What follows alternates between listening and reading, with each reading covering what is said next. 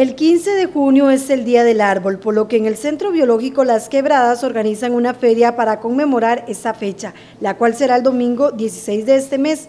Comienzan a las 8 de la mañana con una caminata denominada Lagunilla, que llegará hasta Pudeviol pasando por el proyecto Mi Árbol para la Vida. Bueno, queremos decirle a todas las señoras y señores y jóvenes que nos van a acompañar a la caminata que tenemos programada para el próximo domingo 16 de junio.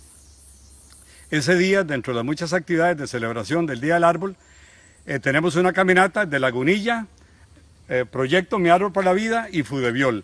Eh, estamos pidiendo que reserven un campo porque tenemos una buceta que sale a las 8 de la mañana del centro de San Isidro y a las 8 y media se empezará a caminar en Lagunilla. Es una caminata lindísima. Hemos venido don Maino, don Hilbert, Steven y este servidor en avanzada para ver que todo esté bien es por bosque eh, primario, lindísima. Estoy seguro que les va a agradar mucho el próximo domingo 16, Caminata, Lagunilla, Proyecto Mi Árbol para la Vida y Fudeviol.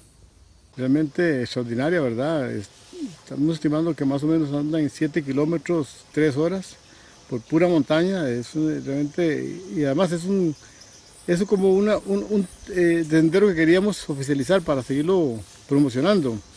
Pero nos parece que va a ser extraordinario que ojalá unos 30, 50 personas hagamos la caminata, ya la pasamos, vimos que es una caminata que tiene algunos lugarcillos, digamos, con un grado de dificultad, pero obviamente hay que venir con un bastón. Nosotros vamos a aportar los bastones para que todo el mundo tenga su bastón, para aquello de, un rebalonazo.